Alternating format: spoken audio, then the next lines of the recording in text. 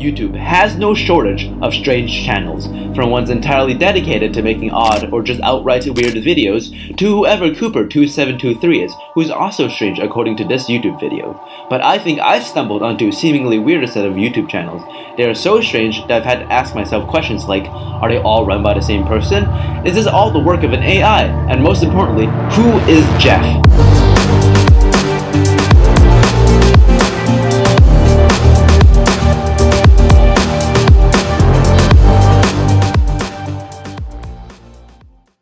One day while watching YouTube videos, I came upon this monstrosity in my recommendation feed. If someone asked me what clickbait was, this is what I'd showed them. I mean just look at it. Don't say wow, 96% fail. Why did they put clickbait arrows on both the word wow and 96% failed? That's a bit much. I was going to ignore this video, but the thumbnail was so outrageous and bizarre, I let my curiosity get the best of me and I checked it out. Thus begins my descent into a rabbit hole. The video itself is frankly hot garbage. It starts off with a text-to-speech narrator telling you to not say wow while watching the video. Oh, I guess I failed. And then it proceeds to show you a compilation of those oddly satisfying videos you see everywhere. That's pretty much the entire video. And of course, the video has so many goddamn call to actions. Oh, go subscribe, go like the video, comment below, rate my video 5 stars on MySpace. Yeah, you get the gist. The video's pretty bad. But other than this video being horrendously low quality, what's wrong with it? It's not exactly a crime to make terrible content, otherwise half of YouTube would disappear overnight. So, what's the problem? Well, after watching the video, I got recommended another one quite similar to it, except it was made by a different channel. And once again, my curiosity gets the best of me, and I click on it. I watch it, then I look at my recommended again, and there's another video that looks the exact same, but it's made by a different channel again and then there's another, and another, and another, and another, and at this point, I'm wondering how many of these videos are there? After a while, I finally stopped, and in the end, I found 7 channels, all making this exact same style of content, even the thumbnails are the exact same. I know it's not an uncommon occurrence to see multiple channels making similar types of content, it's especially not beneath these kinds of clickbait channels to essentially just plagiarize from each other because they see that this type of content succeeds. And does it succeed? Looking at the original video I stumbled upon, we can see that it has a jaw-dropping 16 million views. That's thousands of times more views than my entire channel has.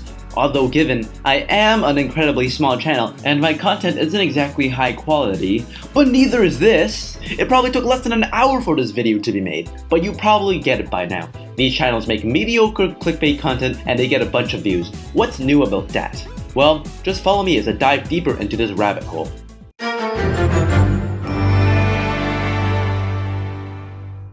To really understand the entire scope of these channels, we need to take a closer look at what exactly they upload. There are roughly four categories of videos they make. The first category I would describe as viewer challenge videos, where the title and thumbnail will present a sort of challenge to the viewer to reel them in. An example would be the first video I watched and others such as Don't laugh while watching this and Don't touch the knife! The actual content of these videos is pretty simple. Most of them just involve a video or a compilation of clips, and you're supposed to beat the challenge presented. Honestly, the best way you can put it is that it's kind of like a reverse react channel. We can see that these types of videos seem to net the greatest number of views, with viewer counts being in the millions.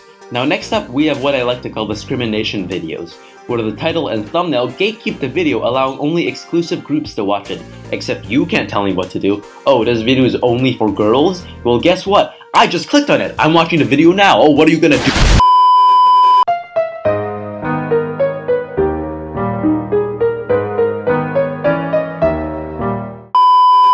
Once we reach the last two categories of videos, it starts to get a little bit wacky. The third category consists of a bunch of videos that I've simply titled as I am about to make multiple false claims, otherwise known as lying. This is the classic clickbait method where the thumbnail and title aren't even telling the truth. Like look at this. This video says that it will play after 5 ads. That's not true. I'm pretty sure it's actually impossible. Otherwise, it'd be a living hell trying to watch YouTube if you don't have an ad blocker. And what's worse about the video is that if you decide to click on it, you'll get greeted by an annoying text-to-speech voice acting surprised that you were able to watch the video without getting 5 pre-roll ads. What? You didn't get any ad. And then it eggs you on saying, oh, if it was so easy for you to do that, then how about you try to complete these challenges? And these so and so called challenges are just comedically easy spot the odd one out kind of puzzles, where there's an array of emojis usually, and you're supposed to find the odd one out. Now let's not beat around the bush here. It's plain and clear to see that these channels are obviously in it for the views and subscribers so they can make as much money as possible. They clearly aren't dumb, and all these tactics I've showed are used in their videos to get as many clicks and as much watch time possible. That's why they do things like using only the most family-friendly of thumbnails and extending watch time by any means possible. The start of these videos is always like, hey guys, guess what, today I'm going to commit murder. Yes, you heard me correctly, and I know you might be shocked and horrified that I'm about to commit a crime, but if you watch through the entire video, then you will see me murder someone, and you're probably asking me how I will do this. Well, you gotta watch the whole video to find out. But first, you need to like and subscribe.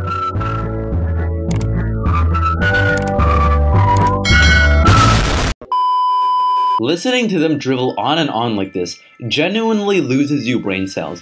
Not to mention that annoying text-to-speech voice they use. Okay then. I'm challenging you. You can't watch this whole video without getting a nap. At least it's not the TikTok one, which The is arguably the most painful test is text-to-speech ever conceived. Like, it is capacity actually so annoying. Okay, I'm getting sidetracked now. Let's go back a bit. You've probably noticed that I haven't actually gotten to the fourth category of videos yet. That's because it's so far removed from the rest of the videos, and somehow is even stranger than everything I've shown so far, and I've got a lot to say about it. However, once we can cover this fourth category, we'll finally reach the bottom of this godforsaken rabbit hole at last.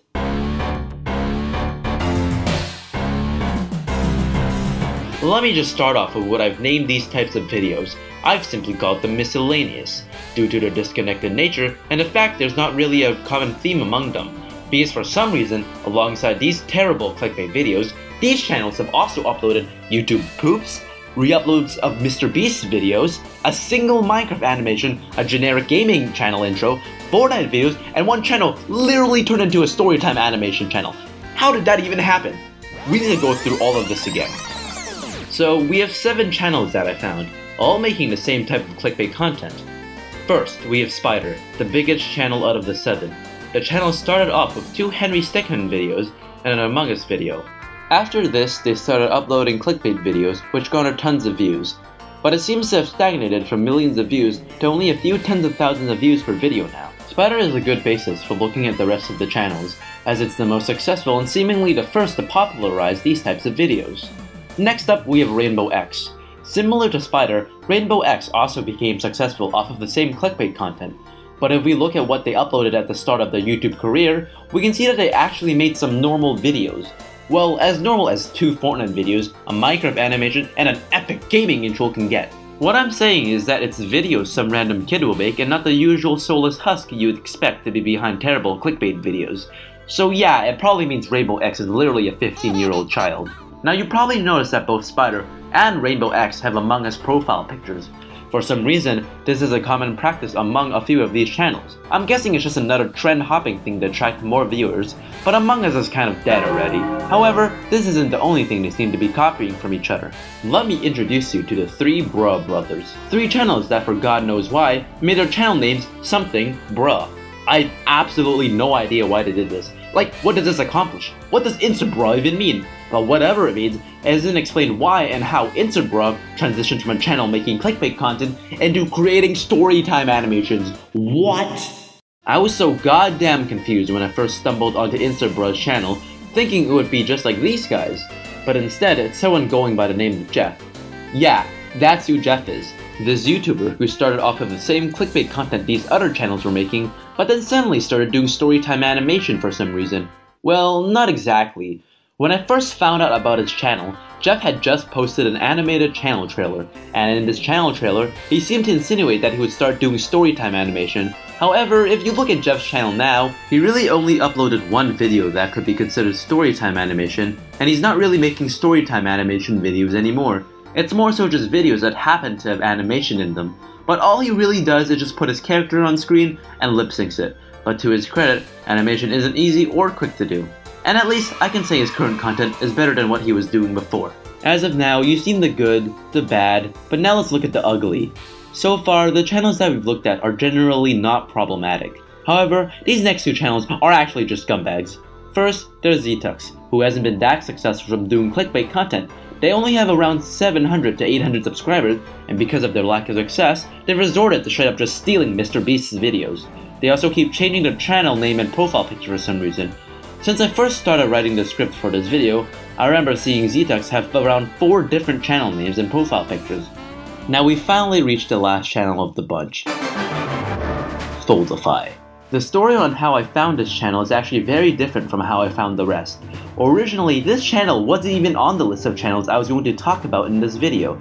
I just so happened to stumble upon it because one of the other channels uploaded Turning Red YouTube Poops, and I was trying to find which channel it was, but I think they've since deleted them because I can't find it now. But during my search, I came upon Foldify, who also uploaded YouTube poops that suspiciously were also about turning red, so what I think happened was that one of these channels just simply stole Foldify's YouTube poops and re-uploaded them but then removed them afterwards, or they just got copyright strike by Foldify.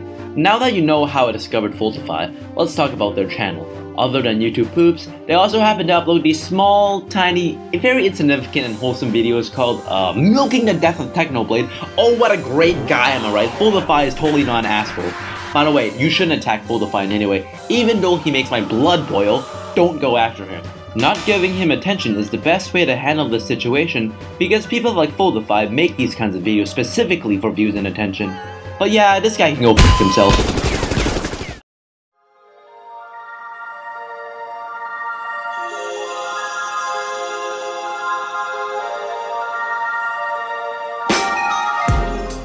Ah, so we finally finished exploring this rabbit hole, and we found a lot of things. I first thought that I was just gonna talk about how there were like six channels doing the same kind of dumb clickbait content, but as I looked into this further, I kept finding more and more usual things. I guess that's why they call it a rabbit hole. And while usually it's interesting and admittedly a bit fun to keep on unraveling a string of yarn connected to a massive ball of YouTube lore, unfortunately this time we ended up just finding this scumbag. I feel like there's still more I can say on this matter, such as the possibility that maybe some of these channels are run by the same person, or somehow made of AI or a bot, because these videos have such a copy-paste pattern to them. Although it's more likely that they're all just clout chasers copying off of each other. There we go, I answered the questions I posed at the beginning of the video. I almost forgot because the script just got that derailed. However, I'm not going to keep going on and on about absolutely everything I found. But what's my final verdict on all of this? Well, first, this guy needs to find a father figure. And second, you're ready to get funky!